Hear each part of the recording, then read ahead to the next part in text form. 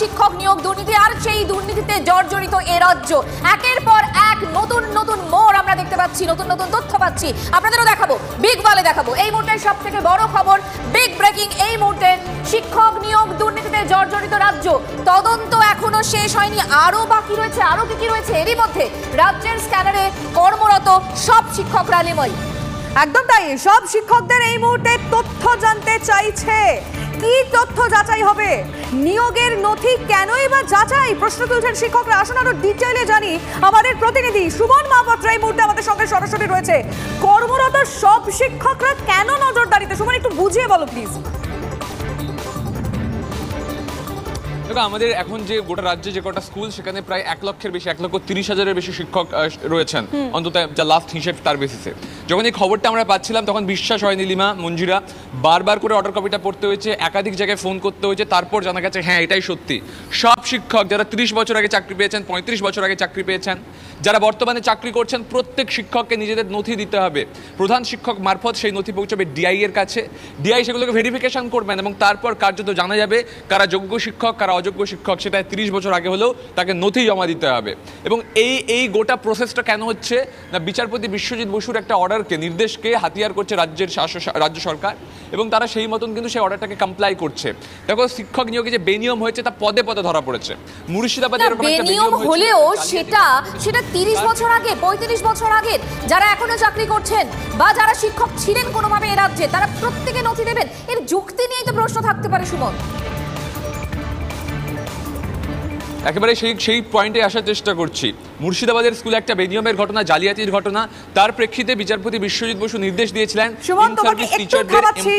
Please সঙ্গে থাকো। এই মুহূর্তে আমরা আইনজীবী বা নেতা বিকাশ রঞ্জন ভট্টাচার্যের সঙ্গে যোগাযোগ করেছি।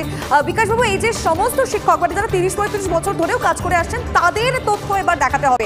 মানে এটা কি আদৌ সম্ভব? মানে যুক্তিযুক্ত হবে? সবার পক্ষে নথি দেখানো?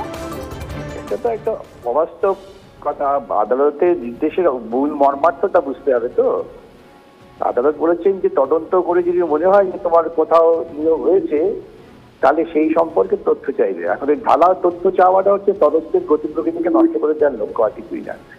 আজকে ধরুন যে লোকটা পঁয়ত্রিশ বছর আগে যোগপত্র পেয়েছে, আপনি হয়তো রিটায়ারও করে দিয়েছেন তার কাগজপত্র কোথায় পাবে? এই রাজ্য সরকারের মতিভ্রম হয়েছে।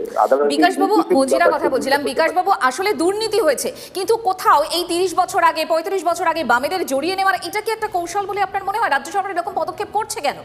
মানে এটা করছে তো পুরো ব্যাপারটা ঘেটে দেওয়ার জন্য আর কিছুই না। এটা কিছুই না এটা নির্বাচনের আগে এটা ঘেটে দেওয়ার পরিকল্পনা লোককে বিভ্রান্ত করার চেষ্টা। বাবাদের আমলে কিছু ওদের খুঁজে পাবে না। এই বাহানা দিয়ে এই আমলের দুর্নীতিগ্রস্ত নিয়োগপত্রকে ওরা খানিকটা আড়াল করার চেষ্টা করছে আর কিছুই না। বেশ, অনেক ধন্যবাদ বিকাশ রঞ্জন ভট্টাচার্য আমাদের সঙ্গে ছিলেন এবং তিনি ব্যাখ্যা দিলেন যে এটা সমস্তটা একটা ঘেটে দেওয়ার চেষ্টা করা হচ্ছে এবং নির্বাচন যেহেতু চলছে, তার আগে এটা একটা প্ল্যান এটা পরিকল্পনা। শিক্ষক সংগঠনের নেতার বক্তব্য আমাদের কাছে এসে পৌঁছেছে তারা কীভাবে দেখছে এটা শোনা প্রয়োজন? শুনব নেতার বক্তব্য। প্রশ্ন হচ্ছে যে, তিরিশ বছর আগে যে প্যানেল অ্যাপ্রুভড হয়েছিল, পঁয়ত্রিশ বছর আগে ধরুন কোনো প্যানেল অ্যাপ্রুভড হয়েছিল, সেই কাগজপত্র স্কুলের প্রধান শিক্ষকরা, তৎকালীন প্রধান শিক্ষকরা যারা এখন সবাই অবসর গ্রহণ করেছেন তারা সেগুলো স্কুলের মধ্যে রেখে গেছে কিনা? যদি না রেখে যায়, তাহলে তো সেই প্রধান শিক্ষক দায়ী। বর্তমান প্রধান শিক্ষকরা যারা আছেন, তারা তো দায়ী থাকবেন না। তাহলে এই ডেটা যদি না খুঁজে পাওয়া যায়, তাহলে সেক্ষেত্রে কী হবে? এখন প্রশ্নটা হচ্ছে যে, এই বিচারপতি, রাজ্য সরকার ডিআই এরা সবাই মিলেই দেখছি একটা ব্যাপার যে, রাজ্যের শিক্ষা ব্যবস্থাটাকে পুরো ধ্বংসের দিকে নিয়ে যেতে চাই সমস্ত রকম গুরুত্বপূর্ণ শিক্ষা নিয়ে খবরাখবর সবার আগে জানতে অবশ্যই আমাদের চ্যানেলটিকে সাবস্ক্রাইব করে রাখুন।